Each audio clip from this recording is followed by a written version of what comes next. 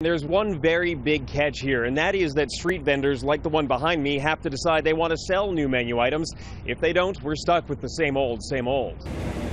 When it comes to street food choices in Toronto right now, there's really no choice at all. They should have more um, variety out there. Yet, judging by the lineup at this food festival outside City Hall, choice is the hottest thing on the menu.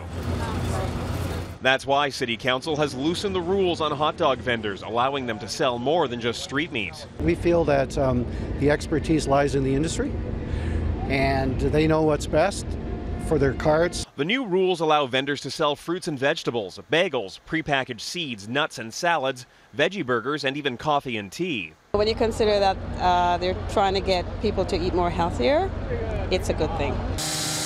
With public health approval, vendors can even take it a step further. What's your best seller? My, uh, well, you know what? My jerk chicken, uh, jerk chicken with the coconut spread and the um, uh, sautéed onions.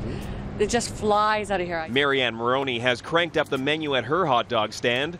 It's worked for her, but she's not so sure other vendors will follow suit. There's a lot of reluctance from the vendors at the moment because they see so many issues. The biggest limitation is that the new rules only apply to existing vendors, so if they don't change their menus, Torontonians won't see any new choices. So the best hope for more choice? Consumer demand.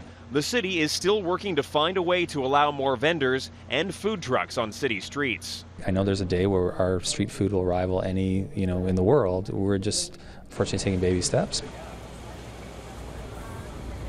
But permitting remains the big challenge here. The city right now trying to find a way to allow for not only more street vendors, but also a place to park those food trucks.